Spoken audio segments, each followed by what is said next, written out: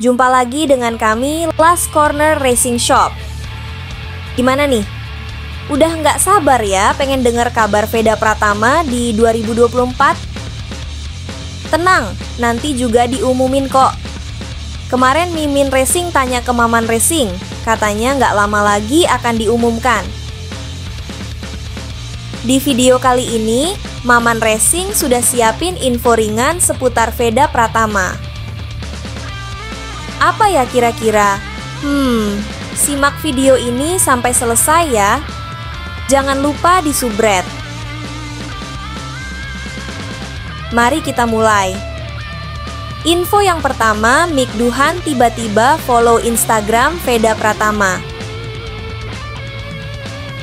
Mik Duhan adalah legenda hidup balap motor dunia.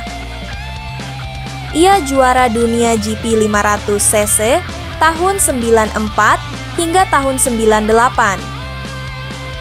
Dia jugalah penggagas tim Nastro Azzurro bersama mantan mekaniknya Jeremy Burgess yang mengantarkan Valentino Rossi juara dunia pertama kali di kelas para raja. Wah, sepertinya sang legenda sedang memantau bakat Veda Pratama nih. Karena ketika Maman Racing Cross Check, akun Indonesia yang ia ikuti hanya ada dua nama, yakni Veda Pratama dan Sudarmono.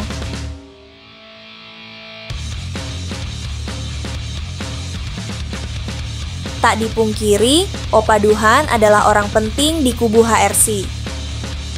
Kalau menurut Maman Racing sih, Duhan akan mengamati perkembangan Veda Pratama dalam beberapa tahun ke depan. Gimana nih kalau menurut kalian? Coba tulis di kolom komentar.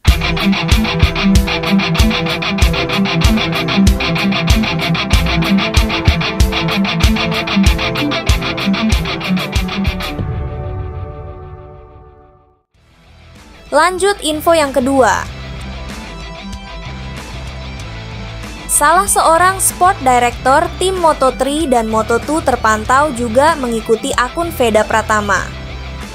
Siapa dia? Mari kita cari tahu bersama. Ia adalah Nico Terol, mantan juara dunia kelas 125cc tahun 2011.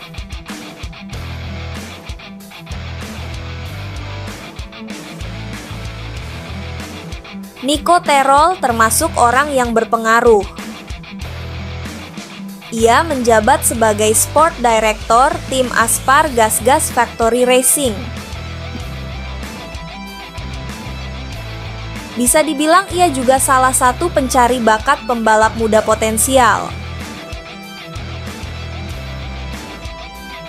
Wah, sepertinya Veda Pratama sedang jadi perhatian banyak orang penting nih. Maman Racing sempat bertanya ke Sudarmono, ayah Veda Pratama. Ia pun bingung karena putranya diperhatikan banyak orang-orang yang berpengaruh di balap dunia. Namun ia menegaskan bahwa itu fenomena yang lumrah, karena kunci kesuksesan ada di dalam diri Veda sendiri. Maman Racing sangat setuju dengan Coach Momon.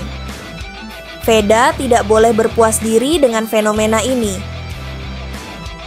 Veda harus tetap rendah hati dan terus bekerja keras agar satu saat nanti bisa sampai di kelas tertinggi balap dunia, yakni MotoGP.